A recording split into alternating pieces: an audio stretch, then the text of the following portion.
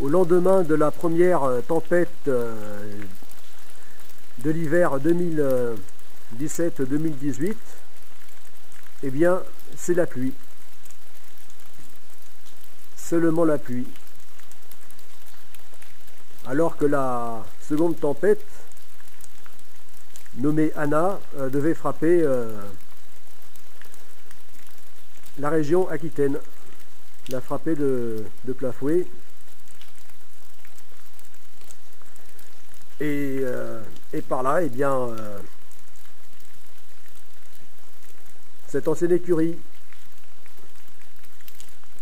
devenue euh, chantier du petit voilier océanique.